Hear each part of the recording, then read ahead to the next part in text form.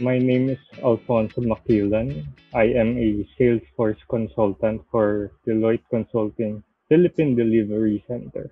I started using Focus on Force on my fifth certificate, the Platform Developer 2. I remember I had a conversation with one of my friends, also a colleague.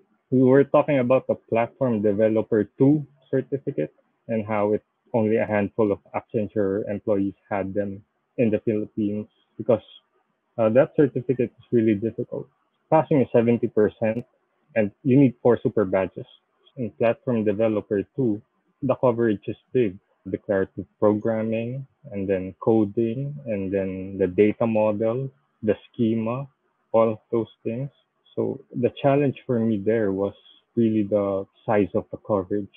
So with Platform Developer 2, I thought to myself that the Trailhead and its documentations will not be enough anymore, especially because of how difficult this certificate is.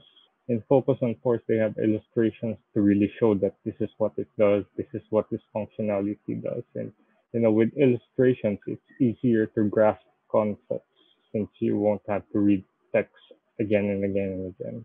So from there on, then I started using Focus on Force from Platform Developer 2 JavaScript Developer 1, uh, the architect certificates that you have, and then also all the consultancy certificates. The content was great. It was easier to read